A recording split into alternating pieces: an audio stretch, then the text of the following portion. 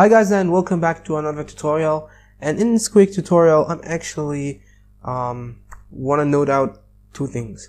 The first thing is that the internal IP that we're using here to forward our port can actually change because it's it's just not a static one it's by default a dynamic one uh, sent to your computer by the DHCP server of your router.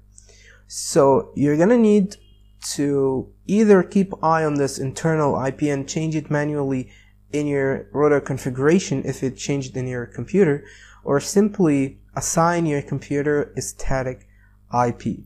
And this is pretty simple. You're gonna go to your control panel and then go to the uh, network and internet. You're gonna go to the network and sharing center. Then you're gonna hit change adapter settings. You're gonna right click whatever you're using. If you're using Wi-Fi, so right click on Wi-Fi, go to the properties, and then you're gonna choose Internet Protocol version 4. You're gonna go to the properties of it, and then it, it, by default it obtains the IP address automatically from the router. So you want to use the following IP address actually, and you provide the IP address. So I'm writing in the IP address 192.168.1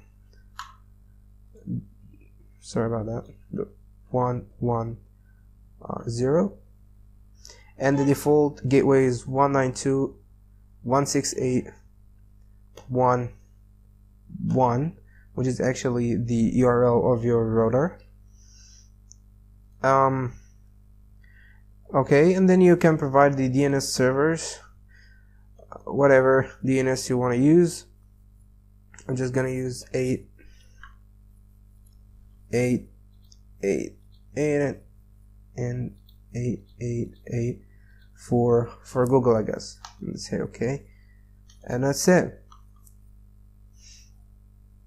So if you now go to your um, CMD and type ipconfig then you're gonna find that this is now your IP address right so it's now static which means that it will never change so this is a method of doing it. You can do this through your router itself uh, by assigning this IP to the MAC address of your computer.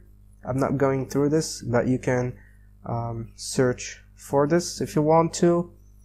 And one other thing is that not your local IP that only changes, but also your external IP, which means that the uh, free subdomain that you created at no IP it will have to point to some other IP address depending on your current uh, router IP address. So what you're gonna want to do is actually use something that is called dynamic DNS. And what the subdomain we created is actually a dynamic, uh, is used for dynamic DNS.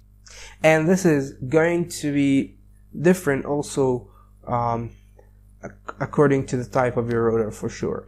So I'll leave a link down and below in the description showing you how to uh, configure this based on your router type. But for me, if you're having a TP-Link router like this, then you want to go to the network and then the dynamic DNS. And our DNS um, service provider is no IP.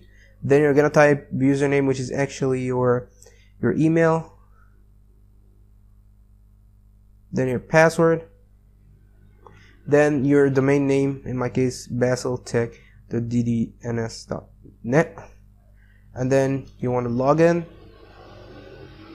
So it will connect to your um, to the DNS provider and this success. I'm gonna save it and we are done.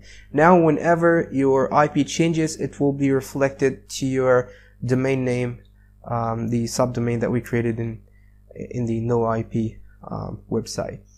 So these were two things that I had to um, actually mention out because when they change, you're no longer gonna receive anything.